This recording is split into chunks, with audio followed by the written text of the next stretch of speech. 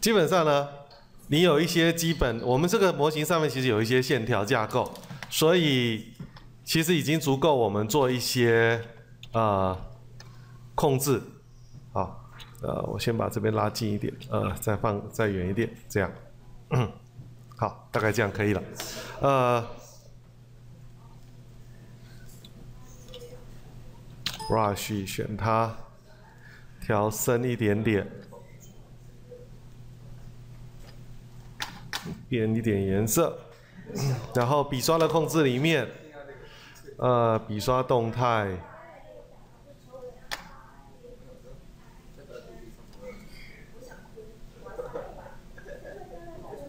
加上间距，加上散布，呃，双笔刷。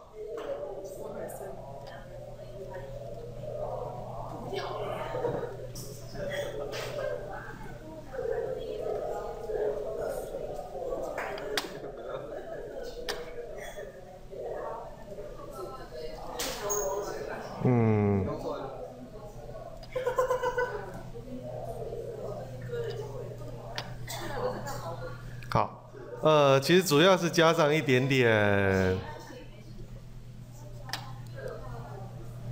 可以产生变化的东西，好，嗯，OK，这样大概可以了。呃，应该其实还要再加一点色动态的色彩动态，还有呃旋转应该也可以做一点乱数，所以再小一点点，画错图层了。赶快昂度，因为我要画的是这一层，或者再开一层更安全。好，那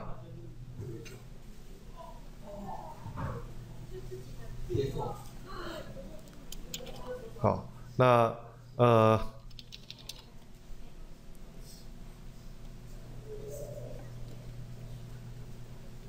对于一些就是。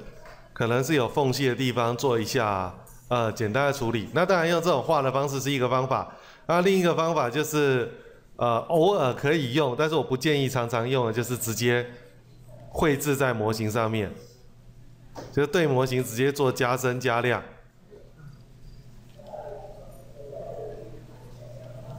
好，那这个会让你的模型的影像比较有层次感。但不要常常依赖这个加深加亮工具，因为加深加亮工具所做出来的效果，呃，蛮呆板，就是看得出是用这个工具做的，好，就看得出是我我，比方说现在我这样子做的话，还蛮明显可以看得出是这种工具做的。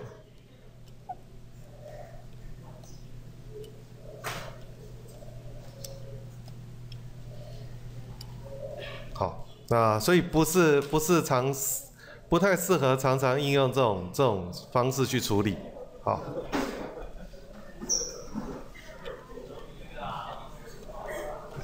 OK，但是你一点点一点点的用一点 OK 啦，好。好，那而且呃，事实上你也不要只看那个这个的线条，因为呃，实际上。的线条架构跟这个其实还是有点差别，就是飞机上的那个板件的组成结构跟这个还是有点差异，所以还是要去看一下真正的飞机上的那个纹理照的，它稍微修饰一下比较适当。好，这个图层在这边。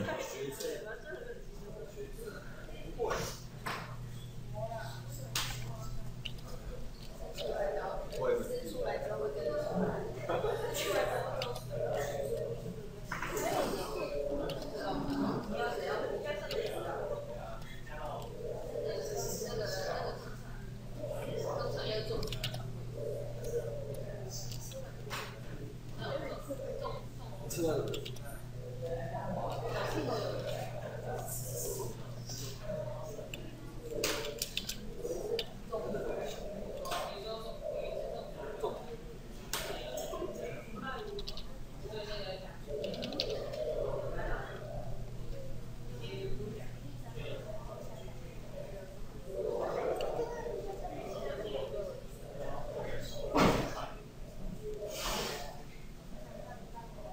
好像这样简单处理一下，但细致你还要画更多，比方说铆钉，要去做铆钉的那个印刷笔章去处理。那然后现在我在做存档，存存档的时候我都不会存线架构，可以回到这边。